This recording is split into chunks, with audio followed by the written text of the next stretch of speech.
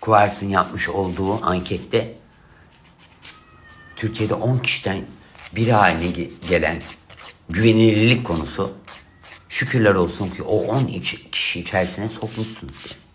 Nasıl girdiğimi de ben de anlamıyorum biliyor musunuz?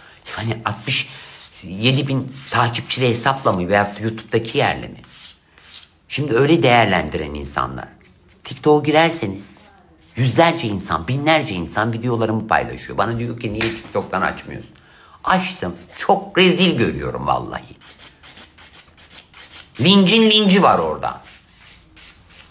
Yani bir taraf Maxim, öbür taraf pavyon gibi geliyor bana. Zaman zaman düşesim geliyor yani o pavyona. Ulan diyorum oradan sallayayım daha çabuk bunların e, izleyicilerine, müşterilerine hitap etmiş olurum. Tekrar ediyorum. Bir sonraki videoyu dikkatli izleyin lütfen.